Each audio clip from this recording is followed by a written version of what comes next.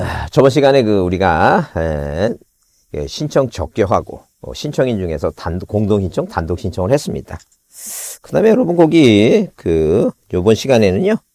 뒤에 그 194페이지에 그 포괄 승계인 나오고 대인청 나오는데 뭐 대의 신청, 대리 신청 그렇게 중요하진 않고요. 대의 했던 나오면 대인이 있다라고 보시면 되고요. 내가 시험 보다가 대의 나오면 있다라고 보시면 되고요. 뭐 대의의 개념은 여러 이번 시간에 배우시니까. 다만 우리가 이제 포괄승계인의 그 194쪽에 그 포괄승계인의 등기 신청 이렇게 나오는데 일단 기본적으로 우리가 어자 다음종 단독 신청이 아닌 것 하게 되면 예, 공동으로 하는 것은 자 일단 유증이라 하는 게 있고 사인증여가 있고 권리 변경 등기가 있고 그다음에 이제 포괄승계인의 등기 신청인데요. 이거는 이 문제는 또 이제 소유권 이전 등기와 관련해서 문제가 나오니까 어, 이해를 합니다. 그래서 일단 자 우리가 이제 포괄승계 이렇게 포괄 에, 포괄 승계, 승계 인에 의한, 이 포괄 승계인에 의한 뭐예요? 포괄 승계인에 의한 등기 신청이다. 이게. 우리가 이제 포괄 승계하게 되면 이제 회사 합병 그래서 그건 뭐예요? 단독 신청 얘기고 상속 얘기인데 포괄 승계 이인하게 되면 상속인이 하는 거예요.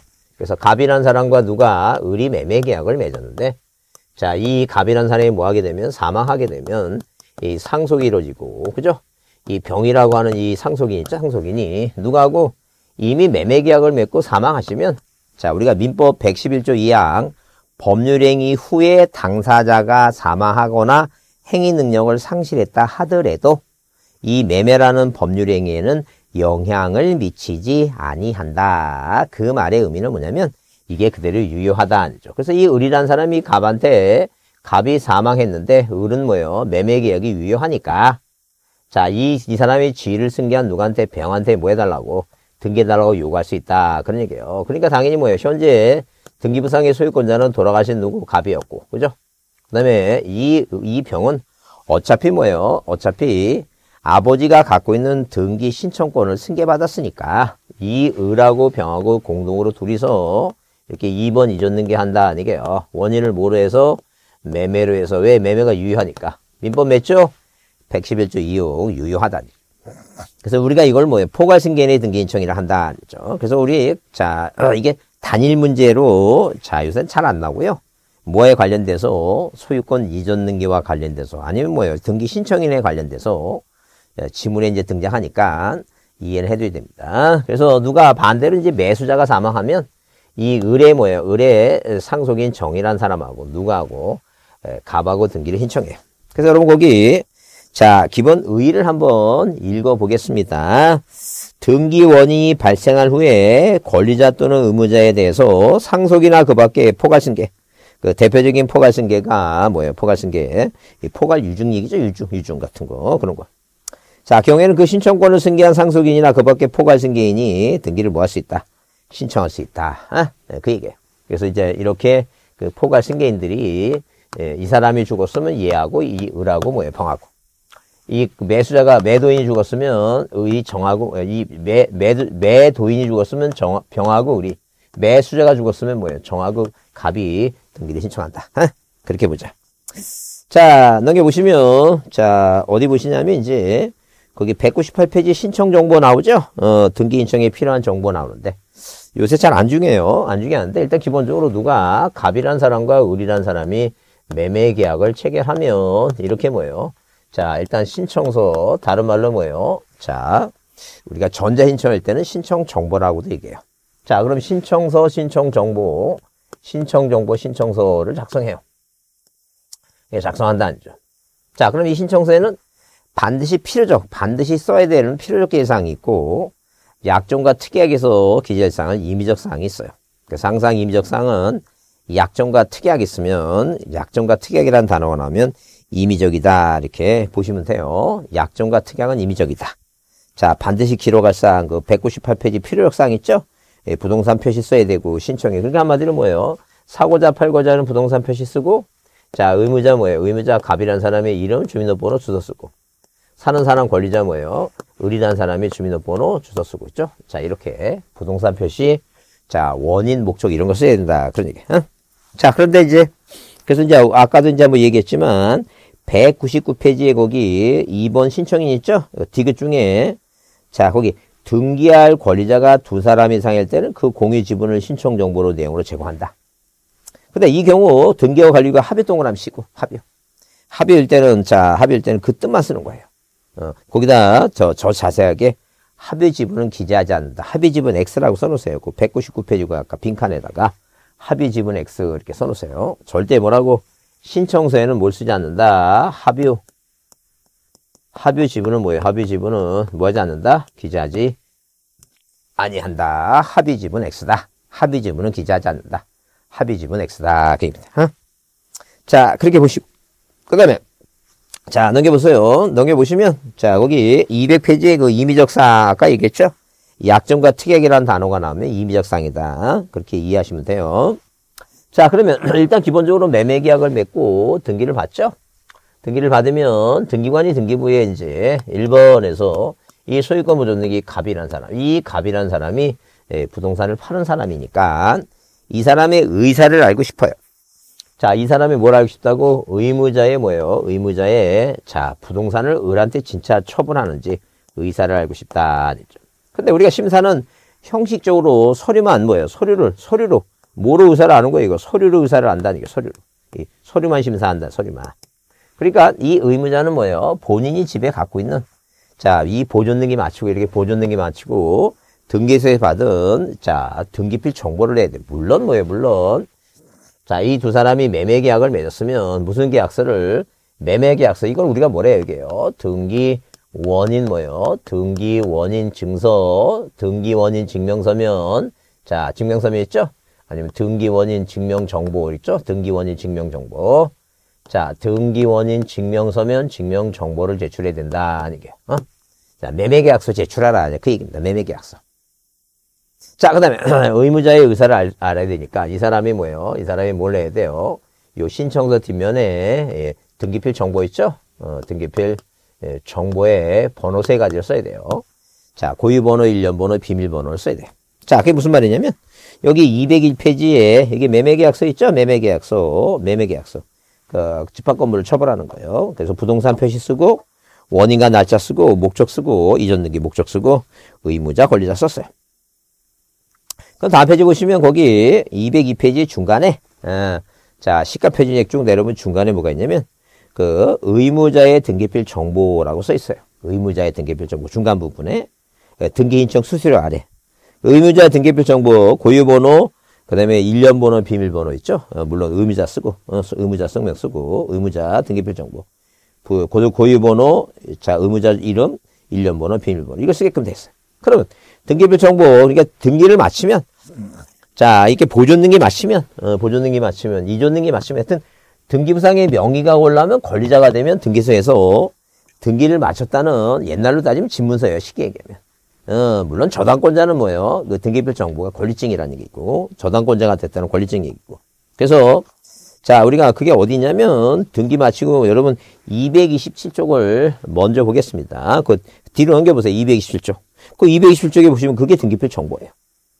그 이 등기표 정보를 이제 이걸 받아요. 그럼 받으면 그 안에 보시면 거기 접수번호 9578번 밑에 자, 그 다음에 이제 뭐예요? 권리자 김갑동 있고, 그 네 번째 칸에 주소 밑에 부동산 고유번호 있죠? 어, 그래요. 부동산 고유번호가 있고. 어, 그 다음에 그 아래 부착기 순서 스티커를 떼어보면 1년 번호하고 비밀번호 있어요. 1년 번호. 잘 안 보시겠지만 1년 번호가 WTDI 이렇게 1년 번호. 요 세 가지 있죠? 요 번호 세 가지를 어디에? 신청서 뒷면에 이렇게 써야 된다. 뒷면에, 뒷, 뒷면 중간 부분에. 그래서 항상 기본적으로 이렇게 등기필 정보라고 하는 이 번호는 누구만이 등기 의무자만이 제출하는 서면이에요. 그래서 우리가 작년 시험에 이 등기bil 정보를 권리자가 낸다 그러면 말도 안 되는 얘기고 누가 내는 거라고? 권리자는 등기소에서 받아가는 것이고 등기소에 내는 사람은 누가 내는 거예요? 의무자가 제출합니다. 그 얘기예요. 자, 그래서 이렇게 자 등기 원인 증명서면 그 다음에 등기표 정보 내고 그 다음에 뭐예요? 본인이 자 소유권자가 의무자일 때 소유권자가 의무자일 때는 여기다 뭘 찍게끔 돼 있어요? 인감 도장을 꼭 찍게끔 돼 있어요. 그래서 이 인감 도장이 본인께 맞는가? 아, 본인께 맞는가 확인하기 위해서 자, 인간 증명서를 꼭 첨부를 합니다. 자, 매매일 때는 매도인감 증명을 내는 거예요. 그래서 의무자, 특히 의무자는 뭘 내라고? 인감유명을 제출해요. 인감유명. 어? 물론 그래서 이제 뭐예요? 이 등기필 정보가 10년 만에 나왔고 원인 정보 중에서 이제 거민 제도가 12년 만에 나왔고 예, 인감유명은 12년이 지나가는데 잘 안 나오겠어요. 음, 그래서 우리가 혹시 모르니까 아, 이 등기필 정보 이렇게 그냥 그냥 종합적인 문제로 이렇게 뭐야 한 줄 정도 이렇게 나오니까 참고로 이해만 합니다. 참고로 참고로 이해만 합니다. 그래서 여러분 거기 203페이지 등기 원인을 증명하는 정보 이렇게 나오는데 특히 이제 거민계약서 나와요. 거민계약서. 거민계약서는 뭐냐면 검사받고 도장받으라라는 죠. 그래서 예컨대 만약에 뭐예요. 지자체에서 갑과 을이 매매계약을 맺었는데 뭐예요. 매매계약을 맺었는데 자 이 사람이 무엇을 세금 뭐예요. 취득세를 좀덜 내려고 다운계약서 그러니까 실거래 금액보다 뭐예요. 자 실거래 금액 자 우리가 공시지가 있죠. 공시지가보다 조금 높게 써갖고 세금을 좀 덜 내려고 하더라니까요. 다운계약서 쓰더라니까요. 그래서 그래서 이제 뭐예요. 거민제도라고 하는 걸 만들었어요. 자 우리 시에서 우리 시에서 아니면 뭐예요. 우리 구에서 어 우리 시에서 구에서 지자체가 구가 있으면 우리 시나 우리 구에서 뭐 할 사람은 부동산을 뭐예요? 매매를 취득할 사람은 자 등기소 가기 전에 뭐예요? 구청 시청 들려서 뭘 받아가라고 검사받고 도장 받아라. 그렇게 제도를 만들었는데 그래도 다운계약서 쓰니까. 그래서 우리가 2006년 1월 1일 이후부터는 자 매매 계약서를 가지고 등기를 신청할 때는 부동산 거래 신고 필증을 받아가라 그런 제도를 뭐예요 물론 작년에도 나오고 재작년에도 시험 문제 나왔어요 지문에 나왔습니다 그런 제도를 만든 거예요 그래서 이제 거민제도라고 하는 것은 이렇게 뭐예요? 거민제도라고 하는 것은 검사받고 도장받아가라. 어디에다가 계약서에다 이게요. 계약서에다가. 그래서 개판 소위는 자 개판 뭐라고? 개판 소위는 뭘 받는다고? 거민을 받아야 된다. 이게 개판 소위 거민 받아야 된다. 계약에 의한 자 이런 식으로 예, 계약에 의한 이렇게 계약에 의한 그 다음에 뭐예요? 판결에 의한 무슨 얘기예요? 이렇게 매매 계약을 맺었는데 얘가 등기를 안 해서 우리 갑을 상대로 이전 등기를 이행하라라는 판결을 받았다면 이 판결서에 꼭뭘 받아야 된다고 거민을 받아야 된다. 개판 소위, 개판 소위 이게요. 그래서 여기 기업, 계약, 가로 열고 매매 증여 쭉 있죠? 원인을 이전 등기할 때는 그 등기 원인 증서에 거민을 받은 거민계약서를 제출해야 된다. 그래서 따라서 매매 증여 교환 신탁, 신탁 계약서, 명의신탁 약정도 약정도 계약이에요. 공유물 분할 협의도 계약이고 재산 분할 협의도 마찬가지고 양도담보 계약, 미등기 건물에 대한 아파트 분양 계약서 있죠. 어, 무허가 건물에 대한 에, 매매 하여튼 계, 계약을 받았으면 뭘 받는 걸 기본 원칙을 해요. 매매를 아 저 거미를 받는 걸 기본 원칙을 합니다. 근데 자 거기 니은에 뭐예요? 판결서에도 뭐예요? 뭘 받아야 된다고 거미를 받아야 된다 그 얘기입니다. 근데 이제 디귿번 예외가 뭐예요?니까 예외가 토지거래 허가서 첨부한다든가. 왜? 토지거래 허가서도 구청에서 받고 거미도 구청에서 받으니까 두 개 뭐예요? 두 개를 중복해서 받을 필요 없다니까. 그다음에 기억. 2006년 1월 이후부터는 매매에 의한 이전 등기 할 때 있죠? 어, 그래요. 자, 이때는 자, 이게 지금 자, 예외단. 그러니까 원칙은 그러니까 한마디로 뭐냐면 두 사람이 매매 계약을 맺었죠? 두 사람이 매매 계약을 맺었는데 예컨대 뭐가 있고 예컨대 자, 등기 원인이 있어요. 자, 이게 등기 원인이 있다는 점. 그 다음에 등기 뭐가 있어요? 등기 원인 증서가 있어요. 원인 증명서면 자, 그 다음에 등기 목적이 있어요. 자, 등기 원인은 뭐예요? 등기 원인은 당연히 뭐예요? 매매입니다. 매매예요. 매매다는 점. 근데 얘가 등기를 안 해, 아, 등기 두 사람이 공동으로 등기해요. 이 공동이청이다는 점. 그럼 당연히 원인 인서는 뭐예요? 매매계약서예요. 자, 뭐 할 때? 소유권 이전 등기 할 때. 등기 목적. 그때는, 자, 그때는 예, 예외라니까. 거민 받지 말고 뭘 받아가라. 부동산. 어, 등기소 가기 전에 그 시청이나 구청 들려서 어, 부동산 거래 예, 신고필증을 받아라. 니까 신고필증. 신고필증. 부동산 신고필증을 받으라. 근데 매매계약을 체결하죠. 등기 원인서가 있죠. 얘가 등기를 안 해줘요. 그래서 뭘 받았어요? 판결을 받았어요. 판결. 음, 판결을 받았다는 점. 자, 그러면 뭐 할 때? 이전 등기 할 때. 그죠? 이전 등기 할 때. 이 판결서에 뭘 받아야 돼요? 예, 검인 받아야 돼요. 그래서 원칙이 뭐예요? 개판 소위. 원칙이 검열받는 걸 원칙으로 해요. 근데 원칙이 검열받는데 예외가 이제 뭐예요? 토지 거래가 가서 하고 부동산 거래 신고 비증 있죠? 어, 이것은 예외로 보겠다. 그 얘기입니다. 자, 그 다음에, 그, 자, 그래서 개판소위 검인 받는다. 개판소위 검인 받는다. 개판소위. 그렇게 한번 외우세요. 개판소위, 개판소위. 계약. 판결, 판결. 어, 판결. 자, 그 다음에 의무자의 등기필 정보. 항상 이 등기필 정보는 의무자가 내는 거예요. 의무자 내는데 어디에 그 신청서 뒷면에, 신청서 뒷면에 그 의무자가 그 신청서 뒷면에 등기필 정보, 본인이 갖고 있는 등기필 정보의 번호를 쓰는 거예요. 자, 뭐 고유번호, 비밀번호 그거는 외울 거 없어요. 그 뒷면에 쓰는데 누가 내는 거라고 의무자가 제공해야 된다. 그게 중요한 얘기예요. 의무자가 제공하는 게 중요한 건데 일단 기본적으로 어 그래서 거기 어 206페이지 이렇게 보시면 아 물론 뭐예요 물론 자 아, 물론 그자 의무자가 냈을 때 공동을 할 때 의무자 내는 건데 206페이지 거기 쌍가루 3번 자 등기필 정보를 제공할 필요가 없는 경우 얘기예요. 그래서 거기 1번에 그렇게 써 있어요. 등기필 정보는 의무자가 본인 증명해서 한 것이므로 권리자가 단독으로 신청할 때는 제공하지 않아요. 그 대표적인 게 보존 등기와 상속 등기.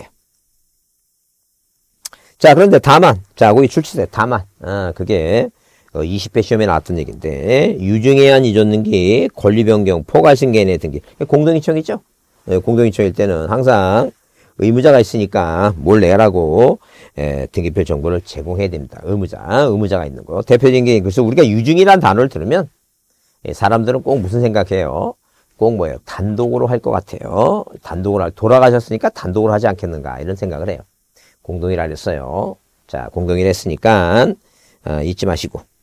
자, 그 다음에 자, 거기 일단 기본적으로 2번에 등기인청의 진정성을 확보할 수 있는 등기 원인 증서가 판결일 때는 자 당연히 뭐예요 권리자가 제공할 때는 내지 않아요 근데 승소한 의무자가 등기 신청할 때는 뭐예요 그때는 의무자니까 내야 돼요 예, 권리자가 판결 갖고 하는 것은 안 내요 단독을 할 때는 근데 의무자가 단독으로 신청할 때는 승소한 의무자는 승소한 의무자 나오면 예, 제출해야 된다 그렇게 이해해 두지 않죠 그렇게 이해해 두시고 자, 그 다음에 등기표 정보 분실됐죠?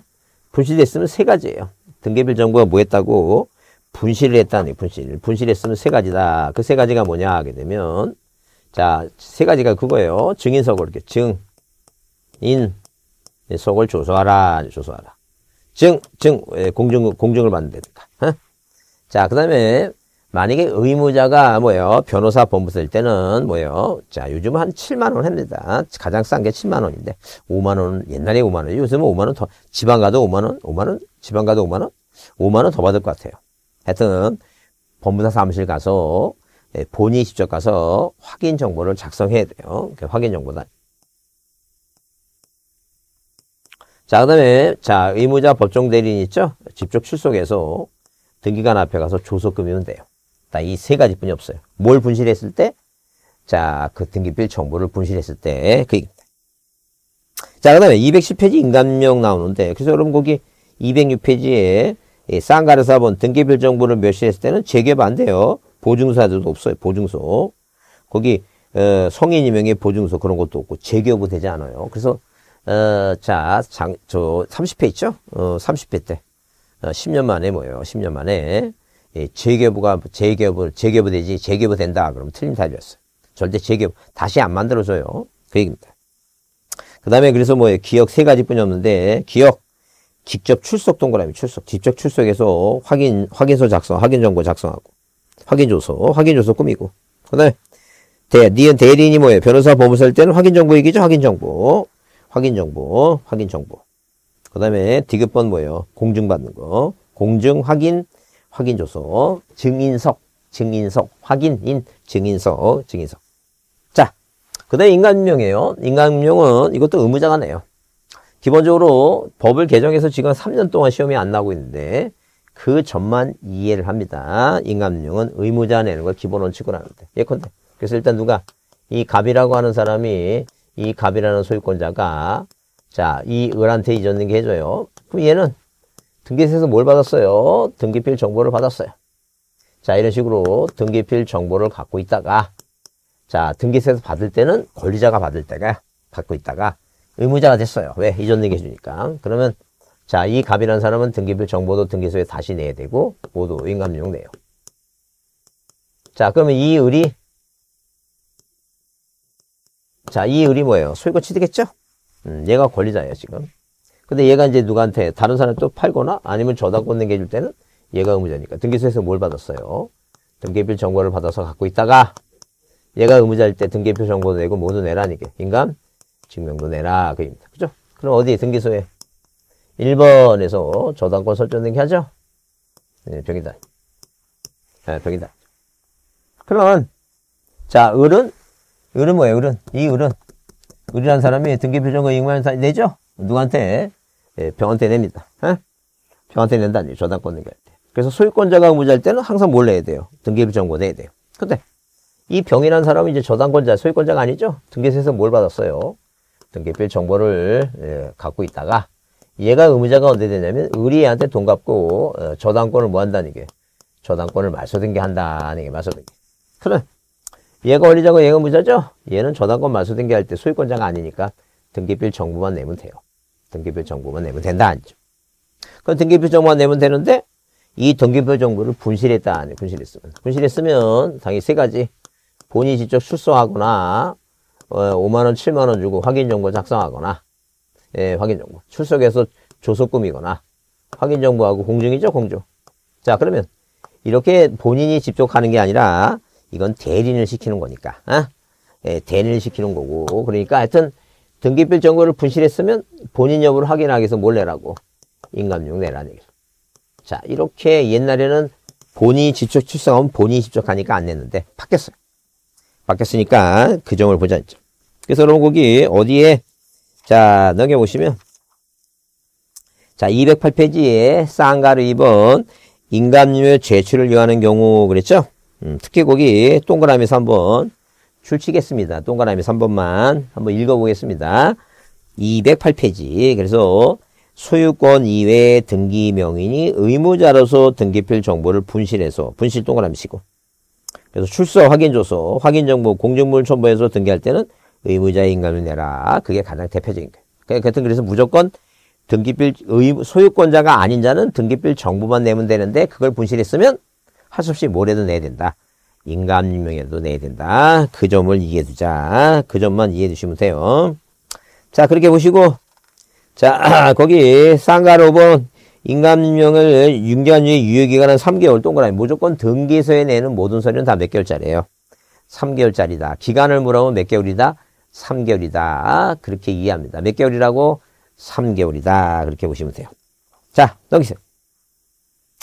제3자의 그거 필요 없고 그 다음에 자 거기 213페이지를 보겠어요. 주소증명서면입니다. 그래서 방금 얘기한 대로 등기 의무자가 내는 서면인데 의무자가 내는 서면의 대표적인 게 자, 물론 세 가지인데 오늘은 두 가지만 보자. 자, 그 두 가지가 뭐라고? 등기 필 정보예요. 자, 그 다음에 인감유명이에요. 자, 그 다음에 등기 권리자가 내는 서면이 있어요. 이 등기 예, 권리자가 내는 서면 두 가지예요. 주소 증명 서면하고 등록번호 증명 서면이에요.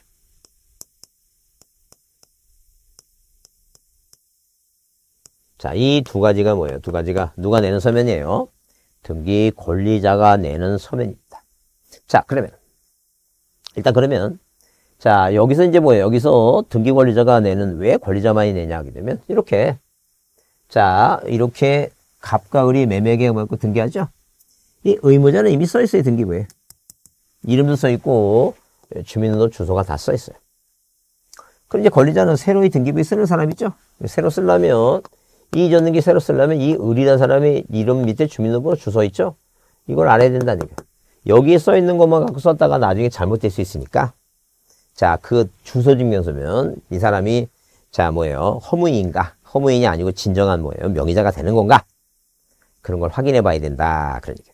그래서 이렇게 뭐예요? 이래서 이 주소 증명서면 이렇게 주소 증명서면하고 등록번호. 만약에 사람일 때는 뭐예요? 주민등록번호고 사람이 아니라면 뭐예요? 자, 부동산 등기에 필요한 자, 그런 등록번호 증명서면이 필요한 것이다. 그 얘기예요. 어? 자, 그래서 거기 주소증명서면 중에 213페이지에 거기 제공의 의 그래서 1번 이렇게 써 있죠. 새로 등기 명인이 되는 등기 권리자는 등기 신청서에 주소 및 주민등록번호를 제공해야 된다. 아니죠. 왜? 권리자가 되는 사람한테만 제공하는 것을 기본 원칙으로 한다. 그 얘기예요. 그런데 한줄 치세요. 거기 자 읽어보겠습니다. 213페이지예요. 다만 줄 치세요. 소유권 이전기의 공동이처일 때 의무자의 주소증명서면도 제공한다. 써 있죠? 원래 권리자가 내는 서면인데 권리자가 내는 서면인데 예외 권리자가 내는 서면인데 예외 뭐 할 때 소유권 이전 등기 할 때만 자 등기 의무자의 주소가 필요하다. 이게 의무자 어? 어, 의무자의 주소가 필요하다. 그 이유는 자 이 건물분 재산세를 걷는데 7월 때는 내지만 기준은 6월이에요. 6월이 기준이라 자 6월 전에 부동산을 팔았느냐 6월 이후에 팔았냐에 따라서 세금을 내는 주체가 틀려진다. 자, 그러면 이 6월 뭐예요? 6월 이전에 만약에 자, 집을 파는 매도인은 재산세를 낼 가능성이 있기 때문에 아, 낼 수가 있기 때문에 이 주소 증명서면이 의무자 것도 필요하다. 이게 무슨 등기할 때만 그렇다고 소유권 이전 등기할 때만 그렇다. 무슨 등기? 소유권 이전 등기할 때만 그렇다. 이렇게 그렇게 보지 않죠. 소유권 이전 등기할 때만 그렇다. 그러면 자 그러면 소유권 연등기 할 때 그러니까 그러면 거기는 그렇게 이제 주소지면서 그렇게 보시고 그 다음에 넘겨 보시면 자 거기 214페이지 거기 주민등록번호 또는 등록번호 증명서면 있죠 이것도 누가 내는 거예요 네, 권리자가 냅니다 누가 낸다고 권리자가 낸다 이게 근데 이제 쌍가리 이번에 등록번호 부여기간 그래서 자, 오늘은 두 가지만 제대로 기억합니다. 답으로 잘 등장 안 하게 두 가지가 자, 들지 않은데, 거기 1번에 국가지방자치 있죠? 국가지방자치, 국가. 예컨대 만약에 뭐예요? 국가지방자치, 국가라고 한 것은, 뭐, 만약에 뭐예요? 소, 자, 예컨대 서울대학교는 법인이 됐으니까 필요 없고, 뭐예요? 강원대학교, 충남대학교, 충북대학교, 전북, 경상북도, 경북대학교 있죠? 그거 단지 뭐예요? 그, 국립학교예요. 소유권자가 국이에요. 국 아래에 이제 뭐가 필요해? 번호가 필요하죠? 그걸 국토교통부 장관이 부여해주겠다. 는 번호. 왜? 자, 사람 이름 밑에 뭐가 있듯이 주민등록번호가 있듯이 예, 국가가 뭐예요? 국립대학의 소유권자가 국가면 밑에 뭐가 필요해요? 번호가 필요하다. 그 어? 그래서 그래서 이제 뭐 그래서 거기 국가지방자치 국제기관 외국 정부는 누가 지정한다? 국토교통부 장관이 지정한다. 지방법원장이 지정한다. 그러면 틀리고 누구라고? 국토교통부 장관이 지정한다. 그 다음에 거기 자몇 번에 법인 아닌 사단재단, 법인 아닌 사단재단 및 국내 영업소나 사무소 설치 등기지 않은 외국법인 니나 나라에서는 법인일지 모르지만 우리나라에 와서 사무소 설치 등기를 안 하기 때문에 비법인으로 취급하겠다 해서 시장, 군수, 구청장한테 부여받아라. 시장, 군수, 구청장한테 부여받아라. 그 얘기입니다. 자, 그러면 이렇게 시장 군수 국정장한테 부여받으라 그랬으니까 만약에 문제 나와서 자, 시장 군수 구청장이 아니라 자, 예컨대 만약에 뭐예요? 자, 시 도지사한테 부여받으라 그러면 틀려. 시군구, 시장 군수 구청장한테 부여받는 거예요. 자, 그래서 거기 일단 1번하고 3번이 중요하니까 1번과 3번 그렇게만 보지 않죠. 자, 그렇게 이해해 주시고, 물론 이제 뭐예요? 그거부터 먼저 보시고, 어, 그 다음에, 자, 만약에 뭐예요? 거기 외국인은 외울 거 없어요. 왜? 외국인은 우리나라 때 들어갈 때 미립국하지 않으면 항상 출입국 관리소장, 출입국 관리소를 통과하니까, 그 출입국이라는 단어가 나와야 돼요. 지방 출입국 외국인 관서이자 지방 출입국, 출입국. 그렇게 이해합니다. 지방 출입국. 자, 한 김에 거기 법인은, 법인은 주된 사무소 소유지, 에, 법인은 주사무소 소유지, 관할인도 등기관이고 그 5번은 뭐예요? 주민등록번호 없는 재외국민은 대법원 소유지 관할등기소. 대법원 소유지가 어디에? 서울이겠죠? 대법원 소유지 관할등기소 얘기입니다. 대법원 소유지. 여튼 자 국가 지방자체는 누구라고? 국토교통부 장관이 부여하고. 그 다음에 자 거기 그 주민 법인 아닌 사단재단 법인 아닌 사단재단은 시장, 군수, 구청장한테 부여받는다. 이렇게 보시면 돼요. 자, 그렇게 이해해 두시고, 자, 그 다음에 뭐, 그 뒤에, 에, 그, 지적도를 첨부하고 도면을 첨부하는 것은 용익물권은 남의 땅 전부가 아닌 일부 할 때는 용익물권 할 때는 자, 뭘 첨부하라고? 도면 첨부하라 그랬으니까. 자, 그렇게 이해해 주시고, 자, 이번 시간에는 자, 거기까지만 보겠습니다. 자, 조금 쉬었다 하겠습니다.